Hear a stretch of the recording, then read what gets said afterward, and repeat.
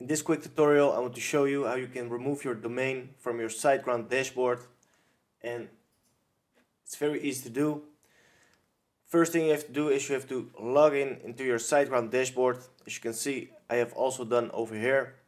Then next thing you have to do is you have to go to the websites option. So click on it.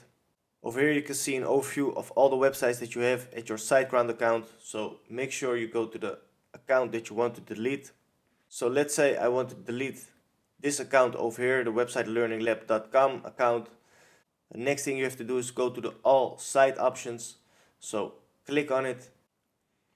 Now you can see this screen will load and then you have to go to this option over here with three dots so click on the three dots and over here you can see delete so if you want to delete this account make sure to delete it I don't want to do that so for this example I won't do it but here you can find the option and of course once you have deleted the website also make sure to cancel the renewal settings so make sure it's not automatically renewed after the billing period has ended so in another video I showed you how you can do that.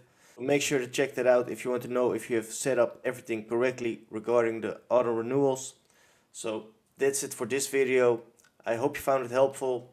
If that's the case make sure to smash the thumbs up. Also subscribe to the channel and hit the notification bell if you want to stay up to date on new videos that will be uploaded. So thank you for watching. I hope you have a nice day and I'll see you back again in the next video.